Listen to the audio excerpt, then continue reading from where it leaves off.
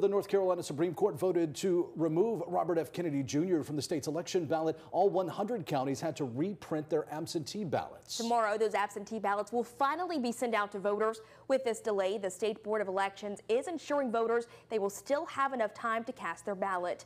Now, on your sides, Gabby Sartori talked with the State Board of Elections director today. She joins us tonight from our newsroom. So, Gabby, what can you tell us? The absentee ballots will be sent out to every voter who's requested one so far. 102 ballots have already been returned by military and overseas personnel. 200,000 absentee ballot requests have been collected in total and are prepared to be sent out this Tuesday. While ballots are being sent off, it's important to be efficient when returning them.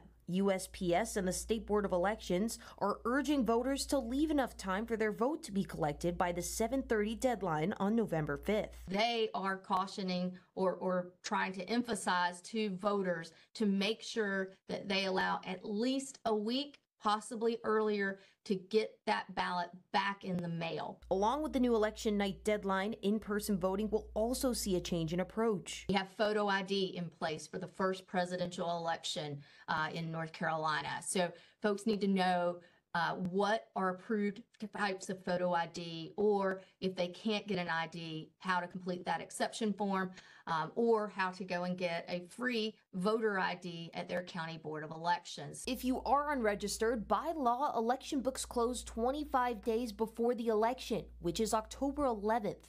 If you aren't registered in North Carolina, you can also register during early voting. They'll bring in their documents uh, for their residency, show their driver's license, uh, and, and or something of that nature, and they will get registered and vote during the early voting period.